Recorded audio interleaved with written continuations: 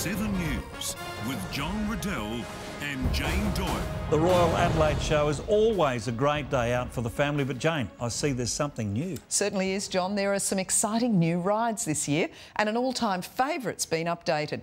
Let's cross now to our amateur correspondent at the show. Thanks, Jane. The Royal Adelaide Show is always a favourite with ride fans. It's the one time of the year we, we get all these great rides in the same place at the same time. New rides this year include the Haunted Castle, the Double Decker, Carousel, the Red Baron Flying Machine. And this year you can ride brand new Dodgem cars. I can't wait to crash into my friends in these. Don't forget, all your show favourites will be back. So you can warm up on the classics before trying out the new attractions. Watch Adelaide 7 News every night at 6 for more show news.